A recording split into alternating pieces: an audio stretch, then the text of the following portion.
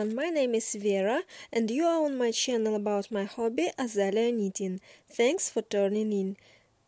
People, especially who doesn't knit or crochet, often ask me how long did it take me to make this jacket or cardigan or sweater and today I want to count how long it takes to make a granny square cardigan.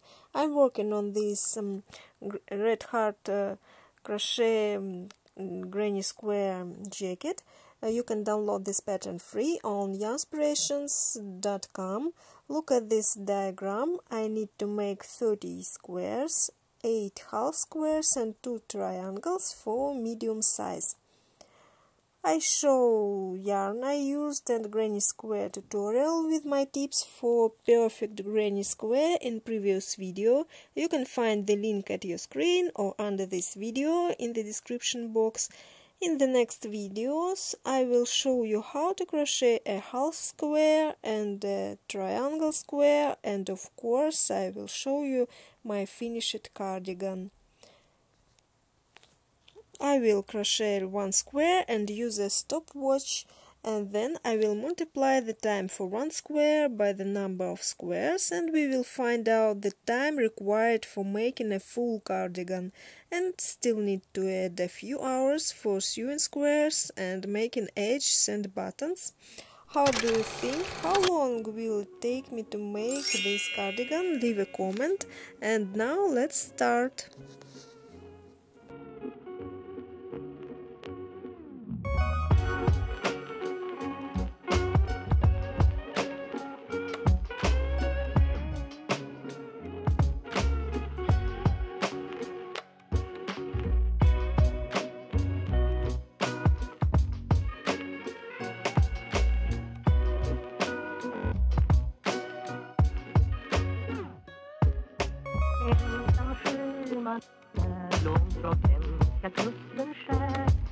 Ska jag fira julen här på Hawaii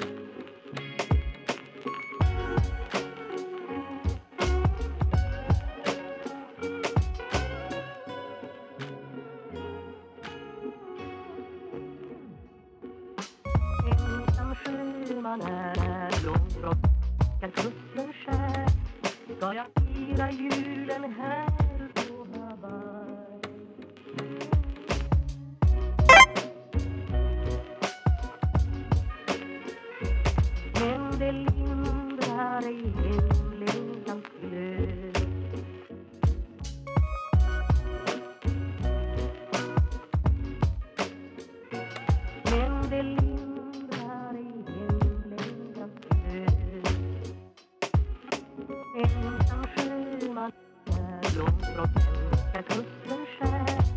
ska jag fira julen här på Hawaii?